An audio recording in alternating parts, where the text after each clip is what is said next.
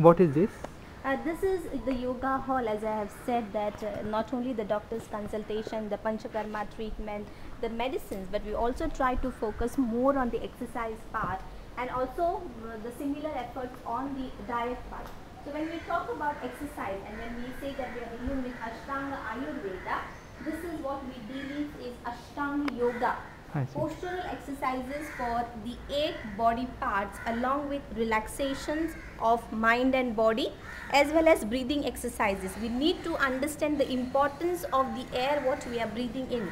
We are breathing in air not only because it has a content of oxygen into it but whatever activities we are doing that i'm talking to you you are listening to me your mind is your brain is perceiving what what i'm saying saying is all because of the functions of air so this particular air if you know and learn the techniques of breathing 80% of the disease pathology even weight